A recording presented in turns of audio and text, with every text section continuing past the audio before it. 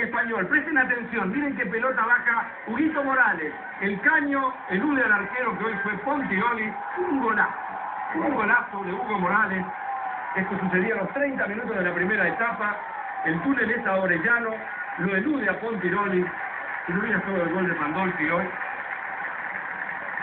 Ahora, Grondona. Grondona que sigue encarando y el sobrino del presidente de la AFA es pauleado por Loza. Daniel Jiménez cobra penal. Le pega a Odriozola. ¿Hicieron penal por el sobrino del presidente? Así es. 23 minutos del segundo tiempo, el partido se ponía 1 a 1 y Héctor Cupa hace un cambio. Entra Collete, sale Ibagaza, gol de Ariel López.